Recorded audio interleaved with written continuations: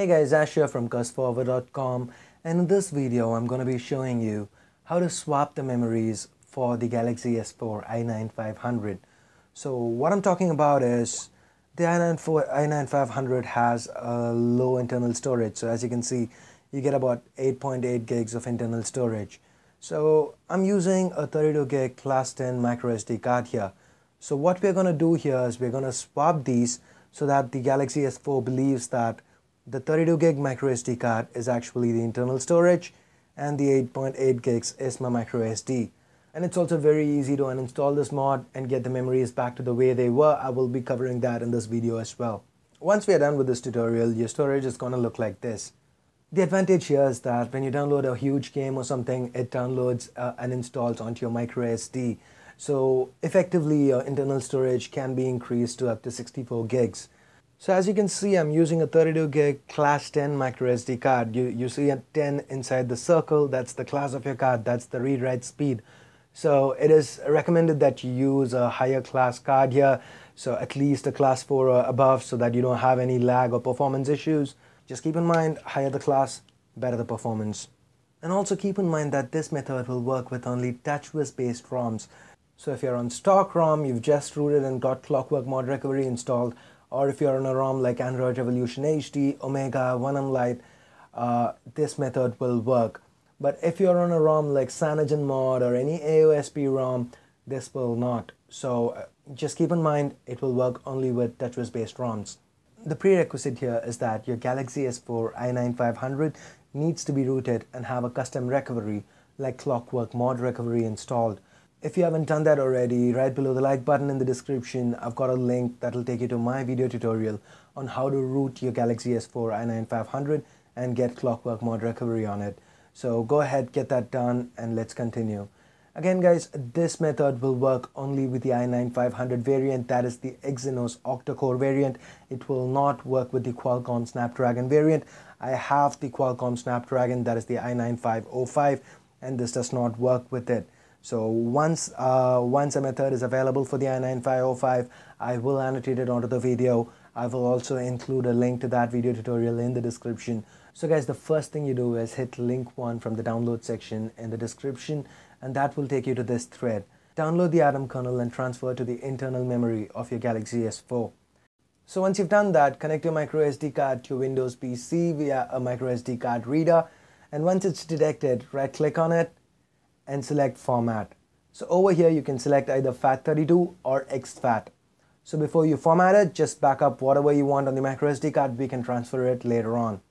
Now click on link 2 in the download section in the description and that will take you to this thread on XDA developers forums.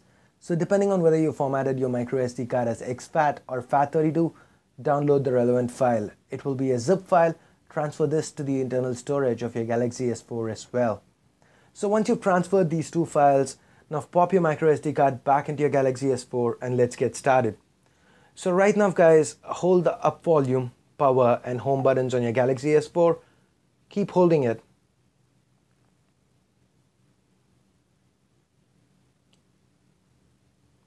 And once you see Galaxy S4 displayed, you can let the keys go. This will take you to uh, Clockwork Mod Recovery. Alright, so let me just pull the phone in closer and adjusting focus. Alright, so now the volume keys act as navigation keys and the power button doubles for selection.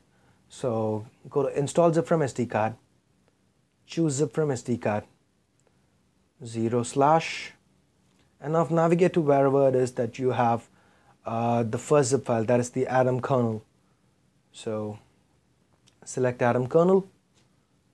Go down. Select yes install. Alright so now go back and hit reboot system now. So give it a give it a minute to boot back up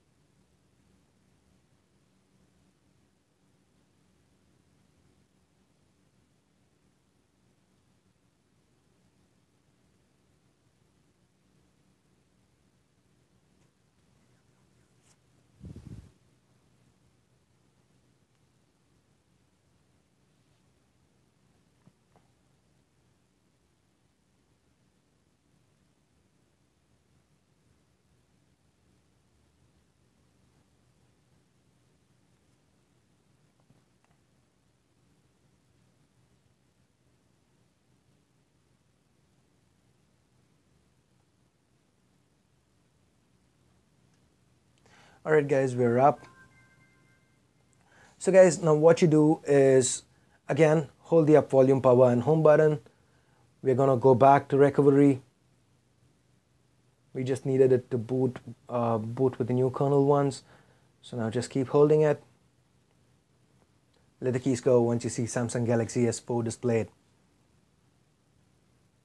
Alright, we're back in recovery. So again, pulling it in a little closer, adjusting focus. Okay, so now install zip from SD card, choose zip from SD card, zero slash. Now selecting the ext2 internal SD. I have my micro SD card sorted, I mean, uh, formatted as FAT32. So selecting it, now install, select it. So that's it, it's done. So go back reboot system now give it a few seconds to boot back up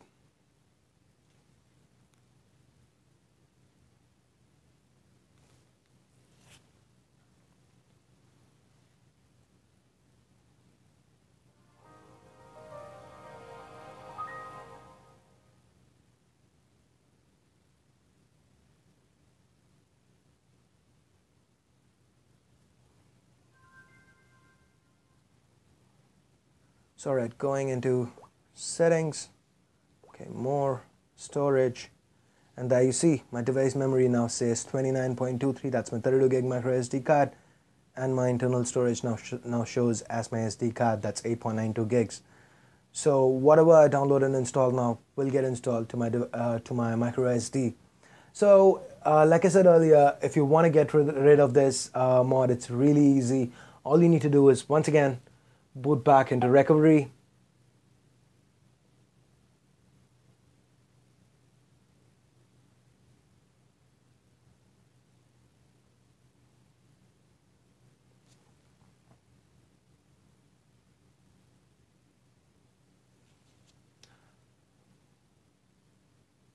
Go back to install zip from SD card, choose zip from SD card, zero, and again select the same file that we used and select yes install. So there you see it says uninstalled now. So now go back reboot system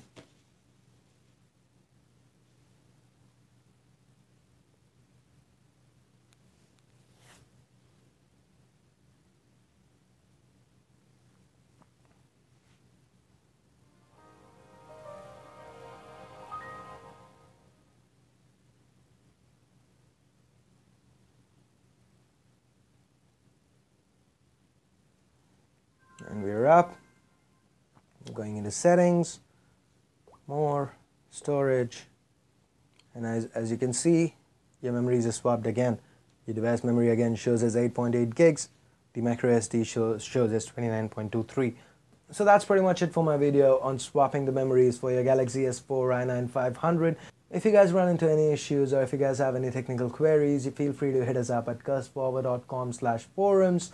And before you go, don't forget to give us a thumbs up and hit the subscribe button because we'll be coming out with more videos for the Galaxy S4 and other Android devices as well. So thanks a lot for watching. Hope you guys liked the video. Hope you found it useful.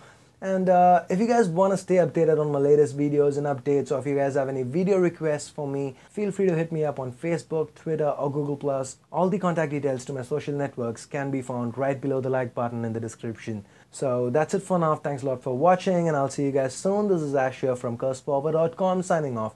You guys have a great day. Bye-bye now.